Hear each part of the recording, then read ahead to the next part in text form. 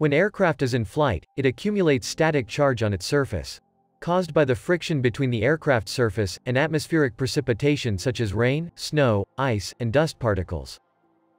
The static energy gets discharged back to the atmosphere. But the rate is slower, in comparison to the charging. Therefore accumulation of the charge increases, and forms a strong electric field, around the surface. Static charge builds up, all over the aircraft, but the concentration tends to be more at the sharpest points.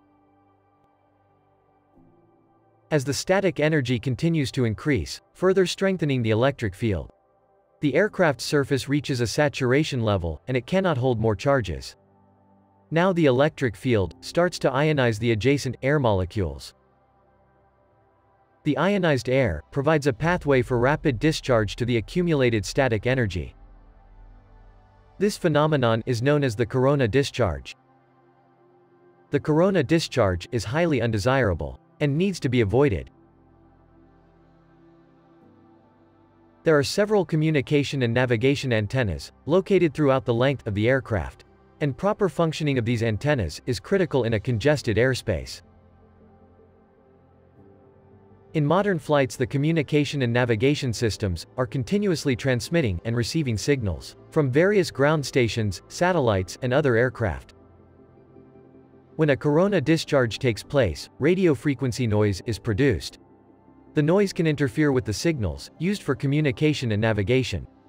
The interference will cause distortion of the signals, and pilots can miss out on crucial information, required for the flight.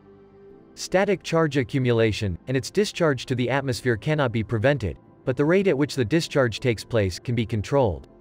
The idea is to hold the aircraft structure, at a voltage below the corona threshold level, by discharging the static charge, into the atmosphere through a continuous path. To achieve this static discharger wicks are installed, at the sharpest point of the horizontal stabilizers. Vertical stabilizer.